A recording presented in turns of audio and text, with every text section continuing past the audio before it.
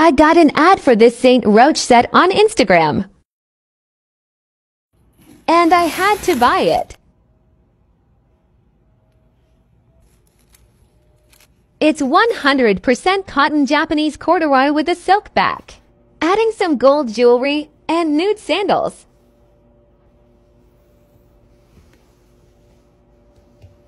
So cute!